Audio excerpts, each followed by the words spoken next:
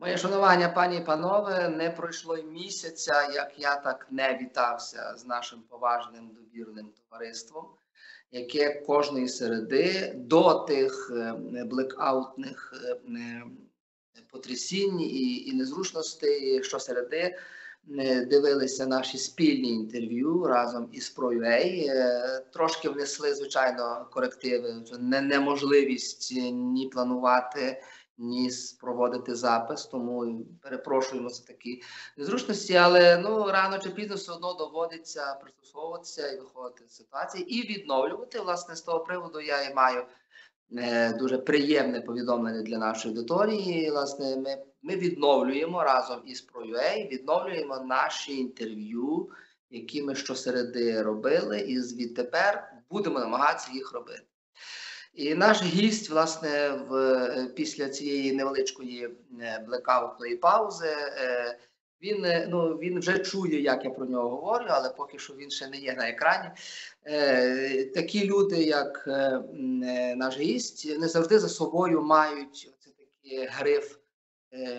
Знати щось більше, розуміти щось більше, тому що доступ до інформації не той, який є там звичайного обивателя, і це ви зараз зрозумієте. І, власне, тому цікаво свої думки, свої відчуття, свої позиції співставляти саме з такими людьми, які мають дещо професійнішу і таку контррозвідувальну оптику на все те, що відбувається. Власне, оцей сеанс звірки.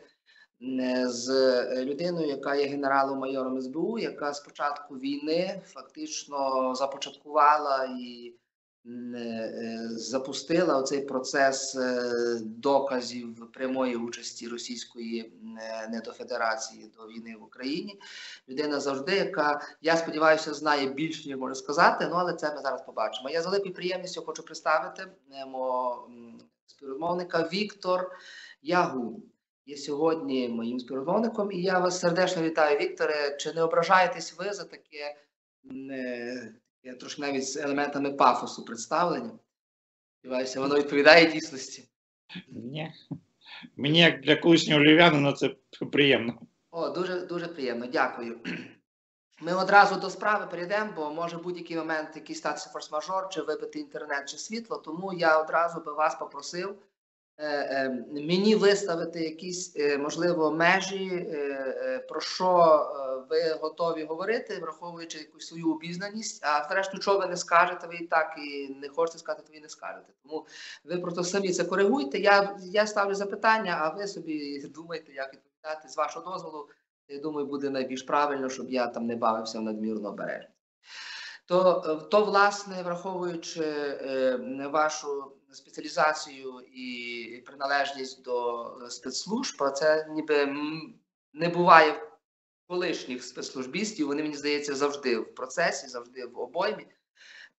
Як би ви зараз оцінили, опираючись на свою базу інформації, е, думок, умовиводів, е, оцей етап, в якому зараз ми є, наскільки він співставляється з тим, що люди про себе думають, як вони бачать ці процеси, що їм можливо важливо від вас почути, як е, від обізнаної людини. Я попрошу цим поділитися. Прошу. Ну насправді е, Україна е, вийшла в той етап, який, про який ми говорили. Я ми, ми говорю це завжди наголошую на експертне середовище. Є певна кількість людей, які вважають себе експертами. Е, в тій чи іншій галузі. Я вважав себе і вважаю експертом з питань національної безпеки. Так, от, якщо е, взяти е, цю галузь, то ми наголошували, що нам треба бути готовими до марафону. Ніякого спринту в лютому місяці ніхто не передбачав, і ці всі розповіді про 2-3 тижні, знаєте, вони просто дратували деколи. Я розумію, що нашим людям дуже було хотілося почути щось приємне, там, що ми от зараз, завтра, все вже десь там перемога. Але насправді е, ну, треба було готуватися, в тому числі готуватися і до таких речей, як е, як зима, як як можливі блек, блекаути. Я я, я задав 14 рік, це квітень місяць. Я був учасником першого збройного е, збройного е, протистояння. Це був ну важко було це назвати бій. Це був фактично розстріл.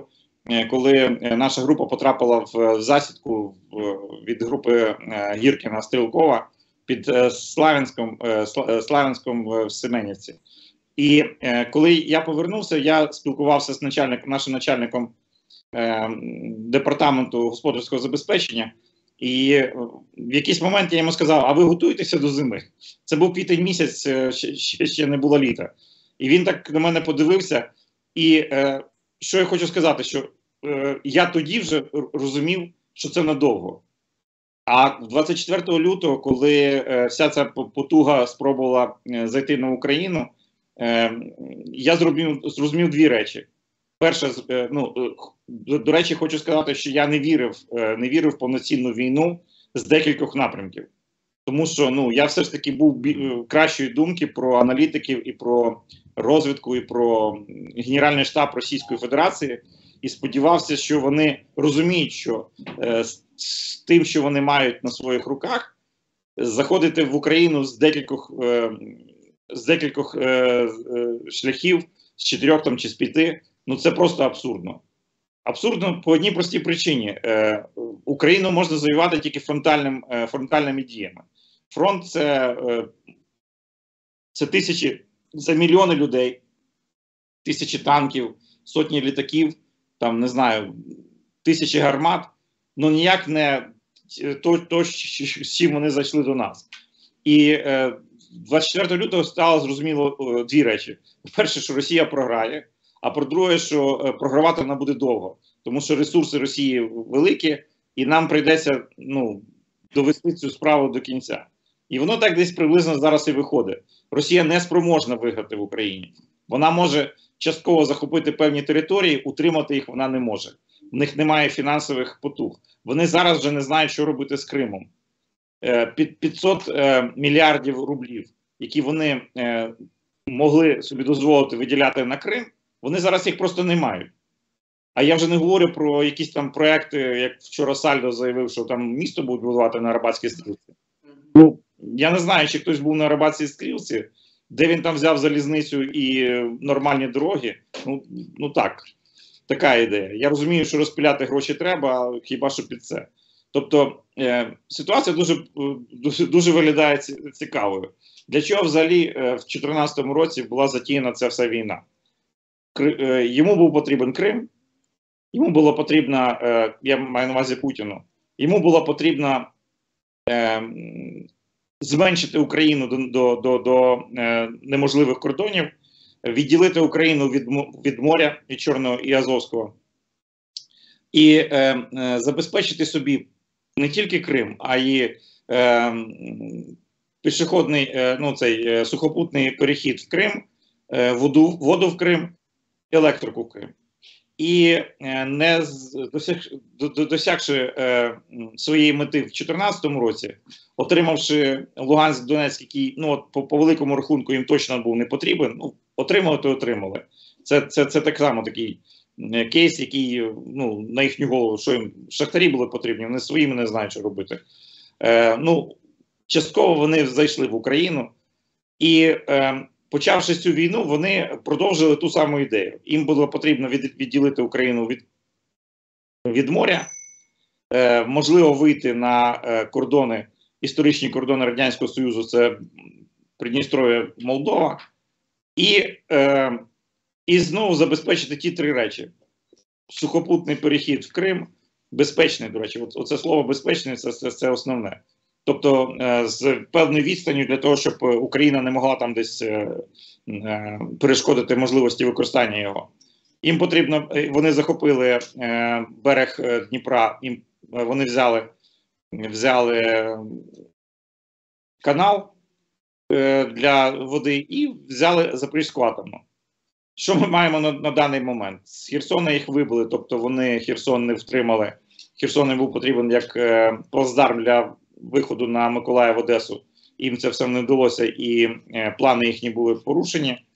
Е, Запорізька атомна стала для них величезною проблемою, тому що вони зіткнулися з протидією світовою на рахунок е, регулювання атомної енергетики і були поставлені певні, певні такі жорсткі вимоги, що або ви припиняєте ядерний терор і йдете з атомної електростанції, яку ви просто точно не, не отримаєте і використати для своїх для своєї мети не зможете. Або ми перешкоджаємо вашій діяльності в, світу, в світовому атомній енергетиці. Це е, атомне е, будівництво атомних е, атомних станцій, це, е, це атомне паливо і взагалі будь-які будь-яка діяльність на- на міжнародному е, на, на міжнародній арені. І тепер стоїть питання вода з Кримом. Вода в Крим так само нічого не, не, не, не вирішить, тому що фактично. Е, я думаю, до, до, до кінця місяця ні, ну десь на, на початку наступного е, січня е, остаточно буде вирішено питання про е, перебування наших військ вже на лівому березі.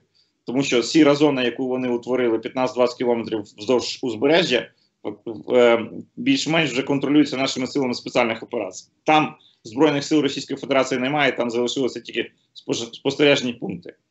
І, е, і останній аргумент це сухопутний е, коридор в Крим. Е, він фактично зараз знаходиться під вогневим контролем Збройних сил України і безпечно в Крим е, там залізницею чи е, автомобільним транспортом ну точно неможливо буде проїхати. Тобто, вся ідея, е, починаючи з 2014 року, захоплення Криму і забезпечення його функціонування як е, не острову, а як е, невід'ємної частини Російської Федерації просто пропала в тартари, власне, е, із-за із із тих дій, які вони самі собі організували. Тому от ми маємо те, що маємо зараз на даний період. Дякую за такий вступ. Я, в мене вже буде кілька питань. Я по черзі буду задавати і будемо так в форматі бліц йти по тих темах, які мене цікавлять. Стосовно Криму, коли почалася оця фаза великого вторгнення, лютий місяць, е, в принципі, Крим всі тримали якось за дужками.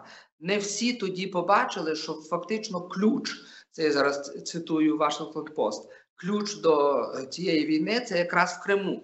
Ми цього не побачили зразу. Ми якраз зараз приходимо до ситуації, що власне рішення по Криму гіпотетичне, яке там ну обговорюється із світовими гравцями, і там теж є різні думки.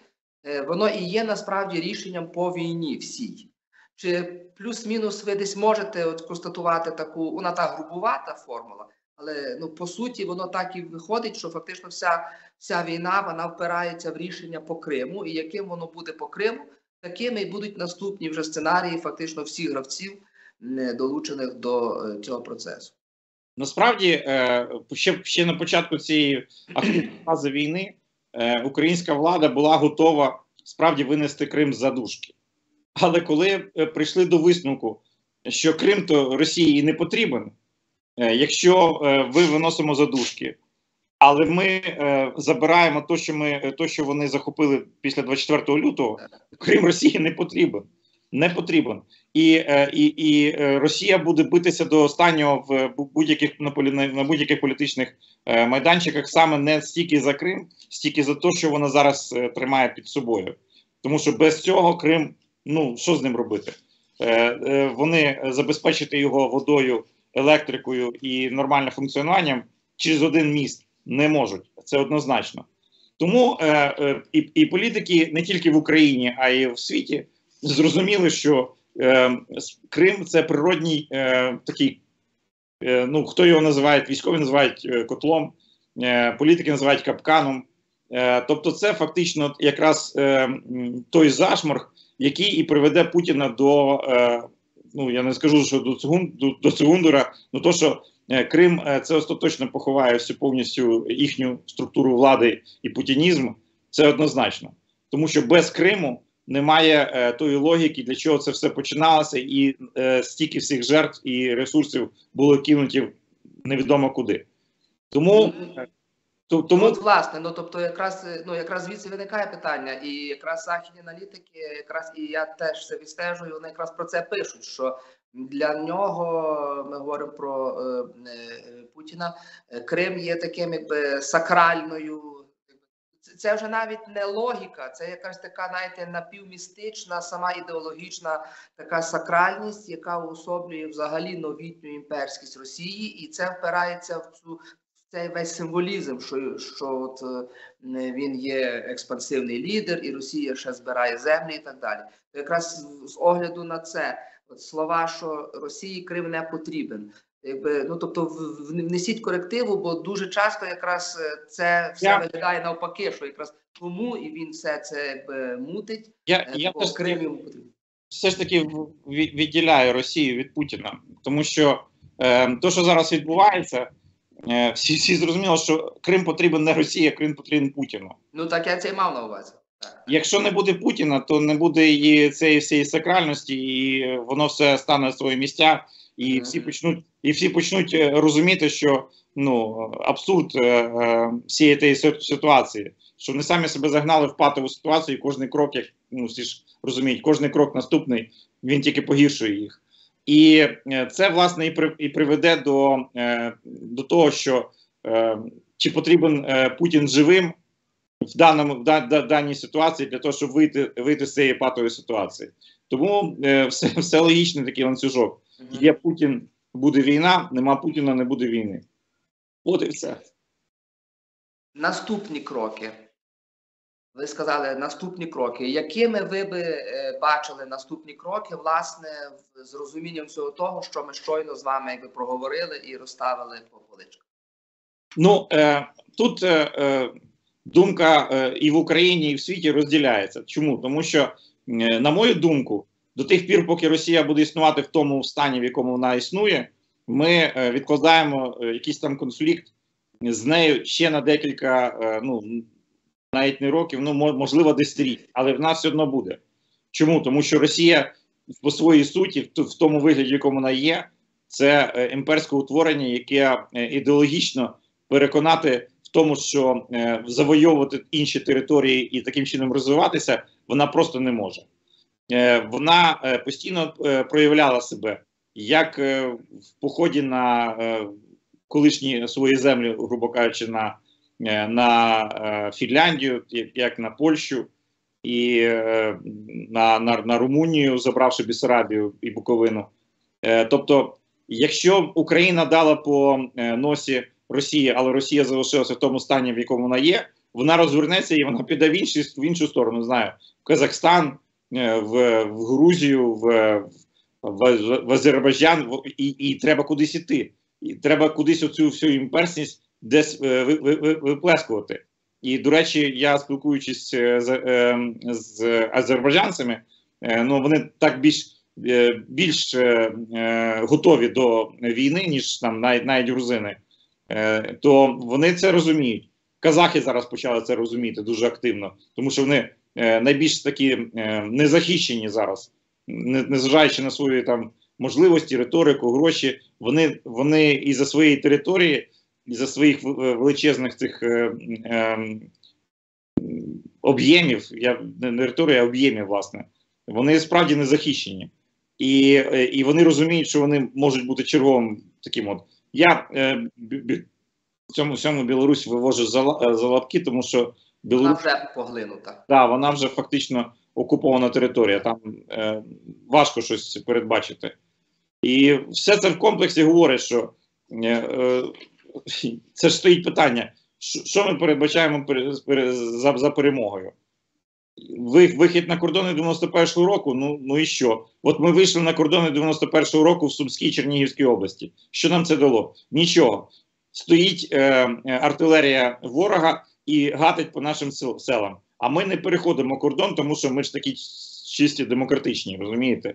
Хоча, е, по великому рахунку, е, організувати якусь е, батальйонну тактичну групу, зайти на, тери- на ту територію і перебити, перебити цю арт- артилерійську обслугу раз і назавжди, да, і показати, що ми можемо це зробити. Це було б, я думаю, крок такий дуже, дуже такий потужний. Але ми ні, ми стоїмо на кордоні і тільки от, ну, от спостерігаємо, як нас е, обстрілюють. Я розумію, що є е, відповіді, що все ж таки ламається психологія, і ми частково починаємо переносити е, війну на їхню територію. І вибухи на аеродромах, на е, якихось е, військових об'єктах про це говорять. Але я не говорю про перенесення війни на мирне населення, тому що ми не, не, не маємо уподоблятися агресору і там е, гатити по е, критичній інфраструктурі е, цивільних об'єктів. Але е, взяти на е, озброєння то, що нам треба ліквідувати, там не знаю, там, грубо кажучи, штаб якийсь е, якогось округу е, в найближчі, на найближчому е, прикордонні, або е, не знаю, гатити його дроном по палацу. От я, я всім говорю про це. Про палацу е, в Геленджику, і показавши, що ми можемо і це зробити, до- до- дошкуливши е, Путіну. Такі речі треба робити. І показати населенню Росії, що ми інші, але ми, але ми е, можемо і на їхній території влаштовувати речі, які їм може, можливо не подобаються. Ну, от ви говорите про візію перемоги, і е, від України нарешті теж вона починає звучати однозначною. Власне, закінчення існування імперського е, начала в Росії і є візією перемоги. Тобто, це вже звучить, воно звуч, воно почало звучати десь лише з осені, насправді. Е, Доти ще там були інші опції. Е, в мене тут питання таке завжди навколо цього, як би мало зафі, там, закінчуватися чи фіналізовуватися е, все е, е, воєнне протистояння, е, завжди майорить тема е, перемовин, поступок, якихось компромісів, бодай тимчасових, бодай перехідних, бодай таких паузоподібних. І воно завжди, от, знаєте, одним, одним, одною рукою завжди вкидається, другою рукою робиться, звичайно, якісь правильні такі кроки наступальні. Е, Який акцент ви би внесли в тему так званих перемовин? Тому що до літа на темі перемовин Україна стояла, і навіть перемовний процес, навіть теоретично, формально він якби і тривав. Готовність завжди висловлювалася. До війни Україна якраз наполягала саме на прямих переговорах, і це західні партнери пам'ятають. Зараз, звичайно, все помінялося, кон'юнктура помінялася. Але для світового співтовариства завжди перемовини є е, ну, теж проявом сили і здатності лідерів якось щось вирішувати. І тут е, воно не лягає насправді на, на нашу позицію, на відчуття суспільне. І ми розуміємо, чому е, ваш акцент до цієї теми, бо воно постійно вкидується, воно постійно з'являється, і, і, і тут потрібні теж правильні акценти. Попрошу поділитися своїм.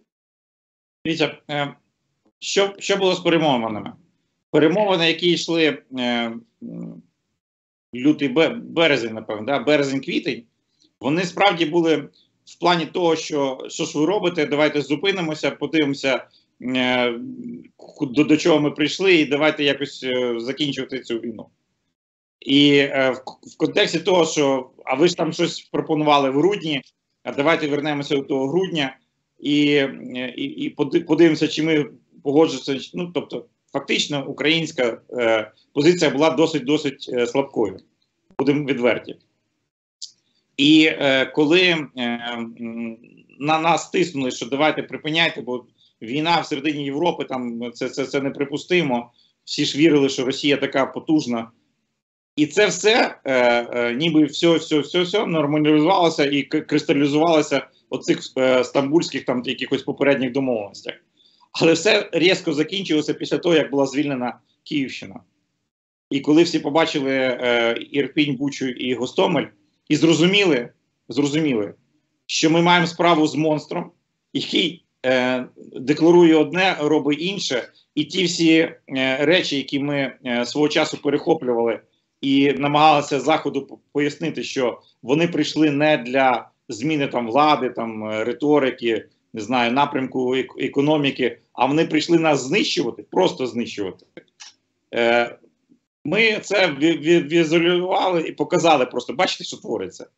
І з ким ми будемо домовлятися. І все на цьому закінчилося. Раз і е, раз, е, ну от, і після цього почалися в тому числі і українські перемоги. І коли ми починаємо зараз говорити про можливість повернення до, до, до перемовин, ми е, чітко показали е, ті вимоги, які ми ставимо перед е, е, ворогом. І справді ми маємо, е, можемо йти на компроміси. На які компроміси? Ну, термін виходу військ, наприклад, так? як вони будуть виходити? Чи вони будуть виходити з прапорами і зі зброєю, чи вони будуть просто виходити без прапорів і зброї, так? Чи ми е, будемо вимагати видачі колаборантів? Тобто, ми зараз е, можемо вести перемовини з зовсім іншими е, акцентами і з позиції сили. Ворог, е, незважаючи на те, що він перебуває на нашій території, дуже слабий, і е, він це розуміє. І аргументів е, для того, щоб проводити е, то, що він раніше вимагав, там денацифікація, де там не знаю, що він там, е, де, де, демілітаризація, це вже про це навіть ніхто не говорить і не згадує. Е, питання стоїть про, про репарації, про видачу злочинців, про е, видачу е, колаборантів, і е, можемо говорити тільки ще раз говорю про терміни, про суми, там про ще якісь там речі, але ніяк не про е, територіальну цілісність і е, якісь речі пов'язані з е, нашим суверенітетом. А Я тут мушу запитати: ви не військовий, ну в такому розумінні е, мі- мі- мілітарному, власне, професійному, е, хоча дотичні, напевно, до е, цих безпекових е, е, речей. Чи можливі взагалі бодай якісь компроміси, чи перехідні проміжні якісь там поступки тимчасового характеру стосовно Криму?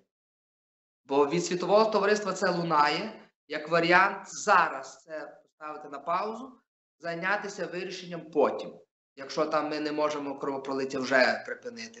Е, ось е, це би я хотів від вас почути. Я думаю, що це неможливо. Е, Саме з безпекової точки зору. Ніхто цей е, авіаносець е, в тому вигляді, якому він зараз існує, не залишить. Це раз. А по-друге, нам просто кримські татари не дадуть. І кримські татари, до речі, чітко поставили свої вимоги перед Ердоганом. А Ердоган перед виборами, де 5 мільйонів е, виборців кримські татари, він, він, він дуже чітко ставив Крим Україна. Е, Крим це Крим територія, на якій має бути існувати кримсько-татарська автономія, в якому, в якому вигляді там вже інше питання. Але кримські татари е, дуже тримають руку на пульсі, і вони точно не дадуть навіть кроку в е, бік стати. І е, оця кримська, е, кримська платформа, вона, до речі, показує, що це, це розуміють не тільки ми, а й розуміють і в світі. Що е, якщо до 24 лютого ми могли ще говорити про якісь компроміси, терміни, там е, деокупація, 10 років, виїзд тих чи ні. Зараз ні. Збирайте речі і на виїзд. І причому е, е, це буде виглядати приблизно так само, як і колись свого часу з студентами. Знаєте, можна було дискусію, чи сту- це е, ну в чешські студенти, чи це була територія Чехії, чи Німеччина. І що робити нам з тими німцями? Ні, речі, речі упакуйте, німецький хрест на, на цьому і вперед. Да. Все, закрили цю тему. А на рахунок того, чи ми можемо взяти військовим шляхом Крим, Так. Крим це котел. Ще раз говорю, військові це підтверджують. І удар по е, знищення Кримського моста е, це катастрофа. Вони не можуть забезпечити ту того групування і ті е, то населення, яке є в Криму е, е, морським шляхом. Все. Питання, е, ну, можливо, це внутріполітичне питання. Я би не хотів зараз його ставити, але ви, власне, експертом з питань національної безпеки. А національна безпека в себе включає все ж таки протидію е, внутрішньому колабораціонізму, е, ворожим настроям всередині країни, оцієї п'ятої колони, яка завжди використовувалася як магніт е, для вс- вс- всяких тих окупантських дій і так далі. Питання таке: чи ем, без стратегії, серйозної стратегії, державної стратегії деокупації, де були би прописані дуже серйозні, е, в тому числі фільтраційні, е, комусь вони можуть здатися як дискримінаційні, але з точки зору національної безпеки абсолютно правильні позиції з позиції сили держави, яка повертає і реінтегровує територію. В нашому випадку цілий півострів, там 2,5 до 3 мільйонів населення. Е, Чи власне ми не отримаємо разом з перемогою? Не отримаємо ми всередині з точки власне зору національної безпеки от таку, такого троянського коня, начиненого все ж таки зовнішньою пропагандою? І ми це, це можна довго говорити, але ми розуміємо про що мова. Мене цікавить ваша думка, власне, не з точки зору політичної доцільності, бо тут не знайдеться нікого, хто там скаже, що там нехай собі там Крим забирають і так далі. Якби не в цьому справа, а в тому, як Україна буде дійсно реінтегровувати той півострів, за який ну насправді і вся війна зараз впирається. І мені тут цікаво з точки зору власне національної безпеки, е, е, ваша думка. Ну е, насправді я завжди згадую розмову 2014 року з, з Валентином Новаченко на рахунок того, що е, е, Валентин тоді сказав, що ви знаєте, якщо б якщо б е, ну от ситуація перед ну, це ми обговорювали результати виборів Верховну Раду 2014 року, і він каже. е, Ти знаєш, Віктор, якщо б не, е, не от ситуація така критична з Кримом і, і е, Луганськом Донецьком, я не знаю, чи ми б отримали настільки е, демократичну е, на той період е, Верховну Раду без тих всіх ну переважної більшості колаборантів. І я запам'ятав її в тому плані, що знаєте, як є російська приказка «Ні- худа без добра, та десь так от приблизно. На жаль, ситуація складається таким чином, що нам треба переходити до тої практики, яка була в е, Балтійських країнах. Нам треба приймати законодавство про е, паспорт негромадянина. І нам треба обмежувати певну кількість людей в їхніх громадянських правах на е, не знаю 10-15 років з, можлив, е, з можливістю повернення українського громадянства через е, іспити. Е, іншого шляху просто немає. Можливі варіанції, можливі якісь там е, нюанси, але іншого шляху, як обмежити е, частину е, цих громадян в правах, немає. Можливо, є громадяни, які справді були до кінця за Україну, але просто були обставини, коли вони змушені були вчиняти ті чи інші дії. Але є категорія людей, які свідомі того, що вони робили, і вони свідомі того, що вони зараз роблять. Я просто знаю, що найбільш патріотичними регіонами України це буде Харківщина, е, е, звільнена Харківщина, е, звільнена Херсонщина, Миколаївщина, тому що там йде тотальне вичищення, вичищення самим місцевим, населенням колаборантів, тому що вони там показали своє обличчя, звіряче обличчя. І е, просто так простити цих людей ніхто не збирається, саме місцеві. І якщо ми е, е, і, і е, центральна влада змушена буде в свого часу фактично брати під захист тих людей, яких можуть просто десь там при, при, придушити на вулиці за те, що вони вчиняли під час окупації. Тому це ще й один з елементів захисту, да? грубо кажучи, ну такий умовний, але захист. І я сподіваюся, що частина з тих, хто не згідний з тим, що Україна повертається, примусово, непримусово вийдуть е, з території України. Це буде так само самоочищення. Але в нас інша проблема, е, з, яку, з якою е, ми зіткнемося буквально. Ну, це я сподіваюся, після перемоги в нас є перспектива. Ми станемо членами ЄС, НАТО, і ми зіткнемося з ситуацією, з якою зіткнулася Німеччина, коли вона відкрила двері для так званих Східних німців. Так. ні, так званих німців з радянського союзу. Ну, так, так. І, і, і, і що, що вийшло? Що зараз е, е, е, я просто читав меседжі тих е, е, людей, які приїхали в Крим, і що вони писали? Да, я розумію, Крим український. Да, я розумію, Крим колись вернеться в Україну. Но Україна буде в ЄС і в НАТО. А я таким чином опинюся як громадянин ЄС і НАТО. З безвізом. Так. І що цікаво, е, частина суспільства, частина суспільства в Росії почне згадувати, що в нього бабця з України, що він взагалі українське прізвище має, і в нього є перспектива. Оце буде величезна проблема. А їх там під 20 мільйонів, якщо я не помиляюся. Тобто, в нас проблем буде ще більше, ніж з, з нашими, тими, що тут. Е, а е, тих, як ти їх вирахуєш? Чи це якийсь там, грубо кажучи, агент е, руського міра, да? чи, е, чи це перспективний громадянин України в майбутньому? Я вам дякую за цю думку про паспорт громадянина, бо я коли таке чую, то я внутрішньо торжествую, бо таке враження, що останні роки, е, е, може ви там за цим не стежили, я постійно саме цю, цю цей прецедент Балтійський ставив у приклад, і дуже добре, що воно починає звучати теж публічно. Ваше пояснення, чому немає політичної волі? Бо це суто політична воля. Повнота влади вона дозволяє реалізовувати будь-що, що йде на користь Україні, і це унікальний момент, коли можна просто за рахунок повноти влади це зробити, та й все.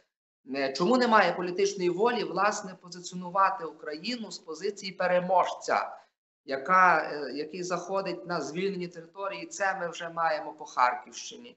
Ми вже маємо по Херсону, яка має зайти на звільнені території не лише з українським солдатом прапором, який там встромиться в міську раду, і всі побачать, що він не замирів, але й з порядком денним українським, з утвердженням українських цінностей, тому що це оця гуманітарна е, складова, вона мені здається і є найважливішою у війні, коли Україна собою покриває свій власний простір своїми цінностями, і люди до цього, навіть якщо вони там. Трошки зрусифікованих е, мають е, там русифіковану предісторію, та так далі, але вони все одно до цього приходять до якоїсь певної вже усвідомленої е, цінності. Чи ви пояснюєте, що немає такої жорсткої позиції е, України як переможця, яка просто має прийти, нав'язати свій порядок денний, сказати, що від завтрашнього дня буде так, інакше це просто повториться через енну кількість років, і, і все. Я я думаю, що ми зараз йдемо е, еволюційним шляхом саме за, до, до, до цього. І, і дуже багато кроків, які влада, і, і, і еволюційних кроків, показує, що вона дуже швидко е, розуміє, е, що треба саме робити. Це і по, по е, політичним деяким моментам, і по е, тим моментам, які пов'язані з духовністю, тобто маю на увазі церковними. Патріархат. Так, тобто, все йде в правильному напрямку. А на рахунок е, того, як сприймають е, місцеві, це дуже яскравий приклад е, рішення е, міської ради в Ізюмі про перейменування вулиць. Ну от я точно знаю, якщо б не було де е, не було б окупації, вулиця Степана Бандери Ніколи би там не з'явилися. а тут е, ніхто нам не приходив, ніхто не вимагав, там не було пікетів свободи, грубо кажучи. Да? Вони самі не просто вони е, причому ретельно перевірили все і самі перейменували. І точно вони будуть знати, чому вони саме перейменували і для чого це вони зробили. І навіть якщо якийсь там хтось е, виступить, скаже, а, а вулиця Пушкіна, то йому так на, натлумлять, що це буде набагато е, стільки люди перенесли горя, стільки вони перенесли, що е, ну, е, цих всіх, е, ну, все, що вони побачили, що зараз нікого нічому вчити не треба. І така сама ситуація, до речі, і в Одесі. Хто би міг подумати, да, що ми так різко е, все ж таки вирішимо питання із тою Катериною, і з пам'ятником е, Суворову. Та А- як різко? Воно, воно запізнилося років так на, на 20, ну, але ну, ви розумієте. Але- ну, то, Але я просто я просто розумію, а в Полтаві, в Полтаві з цими імперськими пам'ятниками. Я думаю, що найближчим часом там ситуація дуже е, складна. Е, ну, е, вся, вся Полтавщина вихована була на цій полтавській битві зовсім з, інш, з іншого боку. Так. Але вона все міняється. І незважаючи на протидію місцевої влади, яка е, залишилася десь своїх там якихось. Я думаю, що місцеві до, доведуть до, до кінця і ці, цей момент, і ми позбудемося тих всіх е, орлів е, в, в місті. І буде правильний пам'ятник е, з правильними акцентами, і хто переміг, і хто не переміг. Ну, я, я теж на це щиро сподіваюся. Е, е, па- Пане Вікторе, ви е, ми про візію перемоги вже так поговорили, і, і воно мені здається, вже навіть це державною позицією є, бо я це від Данілова чув, секретаря РНБО, від, від, від до політиків, які ще півроку навіть взагалі би це не сказали. Але зараз говорять власне про розпад Росії, розуміючи, що це є візія далека, тому що такі тектонічні е, ну, процеси колосального масштабу, планетарного, ну воно не робиться отак раз на раз. І ми розуміємо, що ми залежні від певної інерції, від все ж таки від сили російського центру, тому що це є гіперцентралізований монстр. Він буде подихати, але він буде тримати оці всі свої колонії е, від Сибірських до далекокавказьких просто пазурами до останнього. Не, е, розуміючи це, е, слово довго, яке ви вжили на початку, що це є все ж таки надовго процес. Як би ви його е, ну, проговорили, для того, щоб люди теж не мали якоїсь такої переоцінки цього всього, бо воно мені здається і інколи навіть більше шкодить справі, воно розхолоджує, ніж дає все ж таки той запас тонусу, якого має вистачити дійсно на, на марафон, а не на спринтерську чи на півспринтерську е, дистанцію. Я, е, я думаю, що це е, на найближчі два десятиліття. Це, це, це, це моя оцінка. Ми активно працюємо з. Ну, тобто, це мається на увазі покоління. Чому? Тому що втрачене покоління в Росії. І це покоління, незважаючи на те, що там дітям 10-15 років, воно має бути виховано на зовсім іншому дусі. Е, Дух дуже простий: що чим менше країна, тим легше буде нею керувати, і тим легше вам буде жити. І, і е, оцей і, і, імперіалізм, справді, що нас ми велика, і ми, і ми е, можемо все.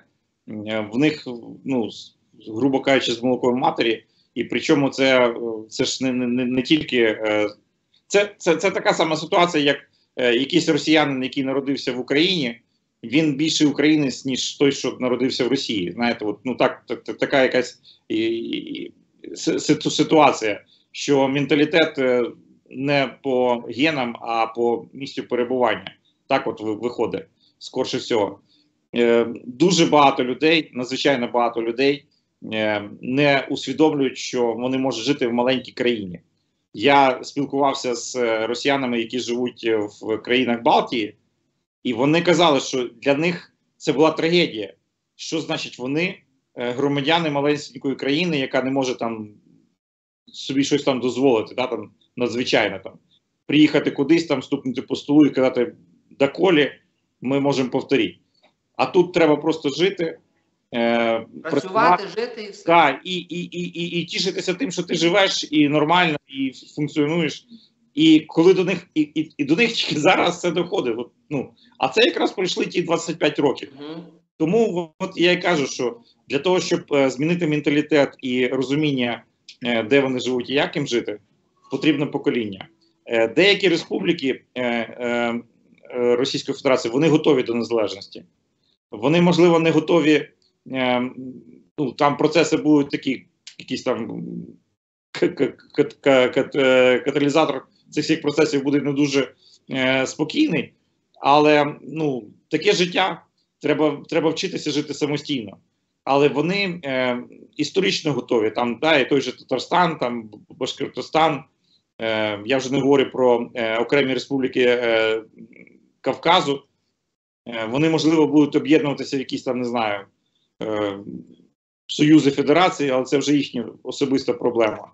Але то, що Росія не має існувати в тому вигляді, якому вона є, і це якраз вирішення нашої проблеми і проблеми всього світу і континенту, це однозначно. Це однозначно, так, абсолютно я е, погоджуюся. Я, я вас скоро буду е, відпускати, пане Вікторе, бо поважаю ваш час і вас там далі справи. Маю наостанок запитання власне про покоління, бо коли ви говорили про покоління росіян, які безнадійно втрачені, то напевно там ну це оптимістично. Ви сказали. Я, е, е, я б е, подвоїв ваше припущення в термінах. Я думаю, там треба два покоління, тому що перше покоління завжди самовідтворюється в наступному. Це така принцип демографії, коли різка зміна менталітету не відбувається в наступному поколінні, а через. Ну тобто, але це ну це оціночні судження, це таке, це неможливо. А я думаю про наше покоління. Чи означає це, е, що фактично покоління, яке зараз входить в своє повноліття, умовно кажучи, 20 років, їх в наступне їхнє от зрішення чекає все ж таки співучасть у е, війні в різні її е, вимірах. Це не обов'язково має бути така жорстка кровопролитна нон-стоп війна, як зараз. Це може бути якийсь інший формат, е, там тому числі збройного протистояння, можливо, менш масштабний. Але чи маємо ми просто бути свідомими того, що в нас наше наступне зріле покоління буде зрілішати в умовах все ж таки воєнної дійсності, і, і, і, це треба то усвідомити, перебудуватися, переналаштуватися е, під цей новий виклик. Ну я, е, я сподіваюся, що ми будемо приблизно йти тим самим шляхом, що йшли французи і німці. Е, ну тому що в них поколіннями були проблеми, е, і вони пережили дві світові війни, протистоячи один другому. І е, я не кажу, що вони зараз е, в дружніх стосунках, але вони е, розуміють, хто вони е, і хто, е, хто, е, хто їхні сусіди. Е, нам е, переважній більшості тих, хто е, і так розумів, хто такі росіяни, нам набагато легше. Можливо, східній Україні набагато гірше.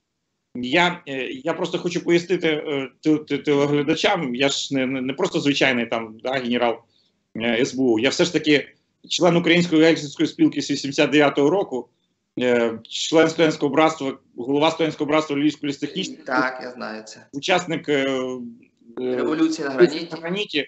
І я з того покоління, знаєте, ну львів'яни знають то покоління тих е, налаштованих студентів, такі, знаєте, і, і, і, і, так вийшло, що мені колись сказали, що треба йти туди. Я пішов в службу і пройшов той шлях, і такий, який треба було пройти. І тому, можливо, мої думки трошки, знаєте, такі, ну, мені легше в якійсь мірі висловлювати свої думки, і вони більш такі концентровані. Але разом з тим, е, ми маємо е, зараз ворога. Цей ворог має колись покаятися. І ми з тим, е, з цим всім маємо йти вперед. Е, Я розумію, що через якісь покоління е, ну, нікуди той сусід не дінеться, і ми з ним мусимо жити і далі. Але без покаяння, без того, щоб вони дійшли до свого висновку, що вони винні, і вина саме їхня, а не наша, да? або, або ще когось там. І, що, і, і, і, і саме через це, це розуміння, можливо, можливо, справді через покоління, через два, ми будемо мати ем, тих людей, з якими можна спілкуватися. Я дякую за цю думку. На кінець, я завжди прошу своїх гостей ділитися своїми внутрішніми відчуттями. Вони у вас базовані і на якійсь внутрішній аналітиці, і просто на, на широті поглядів, зрештою. Е, е, Бо звірка відчуттів дуже часто дуже є позитивною для людей, які десь підвисають, або в яких е, та мотиваційна лінія вона не є рівною. І це нормально, тому що всі ми люди, десь когось бувають, знаєте, як сплески, так і занепади. Поділіться своїм налаштуванням, от на що ви станом на сьогоднішній вечір, найближчу перспективу, на що ви десь якби націлені, на що ви якби сконцентровані. Можливо, це стане у пригоді тим людям, які під кінець року вже відчувають вантаж того стресу. е, Багато що їм е, дискомфорту вносить, там якісь там зараз ці енергетичні е, наші блекаути і так далі. Це теж психологічний момент на це ворог і розраховує, зрештою. Це частина його і ПСО. Е, Поділіться своїми такими налаштуваннями, і власне на цьому я вже завершу, буду вас відпускати. Прошу. На, насправді е, мені приємно, що е, українці правильно налаштовані. Правильно налаштовані в якому плані? Що ми, е, ми все ж таки маємо унікальну здатність, у нас є село. Оце, знаєте, от, е, переважній більшості людей, як, як не дивно, навіть ті, що там виросли поколіннями в, в місті, з'ясувалося, що є родини в селі. В селі. І оце село, оце е, наша сільська якась там ментальність, вона зараз надзвичайно допомагає про- пройти оцей е, складний е, період. Тому що в кожного є село, в кожного є, якщо не село, то дача. І вони розуміють, що є куди відступати, і є той е, плацдарм, з якого можна потім наступати. І е, ніхто здаватися не збирається, незважаючи ні на що. Спілкуючись е, з е, людьми, які там, наприклад, на півночі Житомирщині, Чернігівщині, вони е, в Волині, е, ну от Полісся цього. Я, я був просто щиро здивований, що вони кажуть, хто, хто, хто сюди буде лізти, хтось буде наступати ще раз, хтось хоче до нас прийти, ми готові. І, і причому не просто готові до там до якоїсь партизанки, а там просто буде ну от е, кривава таке месиво, тому що вони просто розуміють, що впустити ворога до себе ніхто не збирається. І е, оцей, е, оця потуга українська вона передається від людини до людини, від села до села, від міста до міста. І е, навіть незважаючи на інформацію, яка зараз гуляє е, інтернетом про можливу підготовку ворога до якогось там концентрованого наступу з якогось там напрямку, десь щось там вони там чуть ли не 100 тисяч готують, і от е, обов'язково десь в кінці січня там або в лютому вони остаточно вирішать питання України. Я ну от я їм щиро, щиро, щиро е, бажаю, щоб вони подумали декілька разів, чи вони хочуть це, бо вони, як сказав Дудаєв, розбудили цю Україну, і тепер Україна точно не зупиниться на півкроках. І я сподіваюся, що ми доведемо, е, ми їх хрестили, ми їх відспіваємо. Так, і буде цей спів чутно на цілу планету Земля, тому що у нас покликання власне є планетарне покінчити з монстром, не лише який є нашим ворогом, а є ворогом всього цивілізованого світу. Е, абсолютно, і це є солідарний ворог, і тим нам якраз і почесніше бути тим караючою руко- рукою, караючим мечем для нього. Е, Пане Вікторе, я вам дуже дякую за те, що ви е, цей час провели в розмові зі мною. Дуже цінною вона е, була як і для мене, так і для нашої аудиторії. Я більш ніж впевнений. Відпускаю вас і дякую за приділений час. Бажаю вам всього як найкращого, і щоб ми з вами наступного разу поговорили вже, е, як то кажуть, про руїни. Про ті крахи нашого ворога, і там вже будемо смакувати набагато довше більше. Я вам дуже дякую. Дякую. за розмову. Е, Пані панове, Віктор Ягун, генерал-майор СБУ, був сьогоднішнім моїм співрозмовником. І, власне, е, цією програмою я хочу висловити велику, велику радість того, що власне ми відновлюємо, дасть Бог, все буде добре. Відновлюємо щосереди наші інтерв'ю разом із платформою ProUA. Бо говорити, проговорювати, слухати, не лише слухати, але й чути. Це теж велика робота, інтелектуальна українська робота. Я дякую, що ви це теж е, е, заангажовані, берете в цьому участь. Отже, я вам дуже дякую, радий знову всіх вас бачити. До зустрічі наступного тижня. Всього як найкращого.